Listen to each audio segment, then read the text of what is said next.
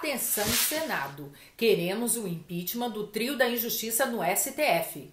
A Lei 1079-50, a lei do impeachment, que define crimes de responsabilidade, mostra no seu artigo 2 que ministros do STF podem sim ser processados e condenados por crimes de responsabilidade pelo Senado Federal alguns dos crimes. Proferir julgamento quando por lei seja suspeito na causa. Exercer atividade político-partidária. Ser patentemente decidioso no cumprimento dos deveres do cargo. Proceder de modo incompatível com a honra, dignidade e decoro de suas funções. Então, fica claro que seguindo os ritos legais, podemos sim afastar os ministros do STF. Se você concorda comigo, está indignado com Gilmar, Lewandowski e Toffoli, temos o dever de cobrar do Senado uma atitude. O caminho são as redes redes sociais. Compartilhe esse vídeo com a hashtag Fora GLT Gilmar Lewandowski Toffoli. Conto com você.